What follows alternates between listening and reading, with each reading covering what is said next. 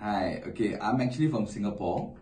Uh, my name is Raj, and I'm actually an investor who turned uh, partnership with uh, with Graystone. Now, I have to be honest in telling uh, you know their level of professionalism, uh, they, their commitment to clients, and their effort in making sure that the client get the best is something that we should applaud for. Right? And they're amazing people, and you know I have flew down all the way from Singapore, coming here to strike a partnership deal with them, and then we're going to bring this market out to the rest parts of the world. And we wish that every of you should focus, uh, you know, investing in Florida. Thank you so much.